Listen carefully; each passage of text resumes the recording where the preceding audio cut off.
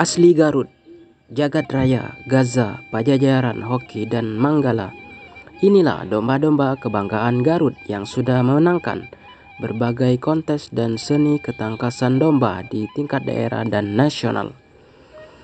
Pak Anies berkunjung ke Padepokan Jagat Junior, Garut, Jawa Barat dan menyaksikan langsung proses budidaya dan ternak domba Garut. Pengalaman yang penuh kesan. Selain budidaya domba untuk seni dan kontes ketangkasan, Padepokan ini juga mengembiakkan domba potong. Padepokan Jagat Junior dikelola Haji Muhammad Iksan Nugraha, generasi ketiga setelah Haji Mahfudin Afif dan Haji Mahfudin. Berdiri tahun 1993, populasi domba di tempat ini mencapai 1000 ekor. Tersebar di beberapa mitra peternak di berbagai wilayah di Garut, seperti Leles, Banyuresmi, Tarofong Kaler, dan Cikajang.